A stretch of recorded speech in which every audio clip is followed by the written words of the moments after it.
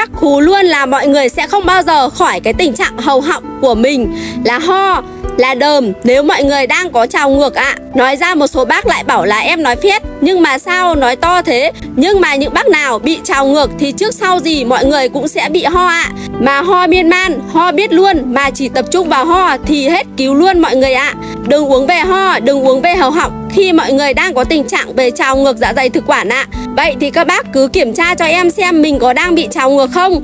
Khi bị trào ngược thường thì mọi người sẽ cảm thấy nóng rát thực vị, tức ngực khó thở, buồn nôn nhiều.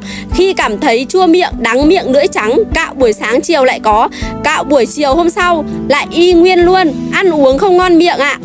Cảm giác nó cứ nghẹn nghẹn, mắc mắc ở đây này nhiều khi như kiểu mắc xương cá đấy Có những bác cảm thấy tim đập nhanh, hồi hộp, tức ngực, khó thở.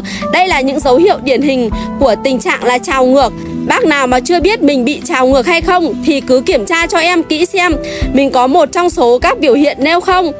Trào ngược dạ dày thực quản nếu mọi người không cẩn thận rất dễ là xử lý sai. Các bác dễ nhầm lẫn với một số các vấn đề về hô hấp thông thường thì là cứ tưởng họng mình có vấn đề thông thường thôi mà cứ tập trung về học thì làm sao? Quanh năm ngày tháng uống kháng sinh tì tì cũng không ăn thua. Vậy những bác nào đang xử lý đang hiểu sai vấn đề đang tập trung vào nguyên cái họng của mình mà không biết đang bị trào ngược thì kiểm tra lại và mình hiểu sai rồi. Bây giờ làm sao? Sửa sai cho em.